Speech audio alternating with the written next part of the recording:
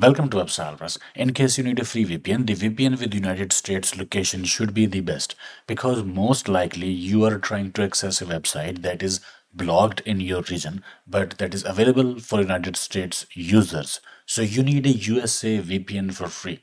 I have been using ZenMate, ZenMate Chrome extension. But see right now it is offering only Germany as a location and even then it is not working. No locations for the moment. I have been using Proton VPN, but that allows only a few regions.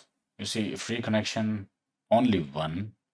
If I connect it, connect it to Netherlands. See, it connects me to the regions, including Romania or Netherlands, but not USA. USA is not free. See, United States is not free. ZenMate and Proton VPNs were working, but not anymore. So here is another way that is working right now. Go to Chrome Web Store and search for VPN. Select this one, Urban VPN Proxy, and install it in Chrome. I have already installed it. I will enable it now. So my region right now is this one.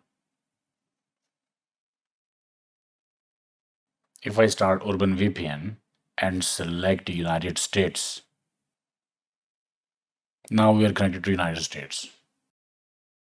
And now my location is United States. As you can see here, here.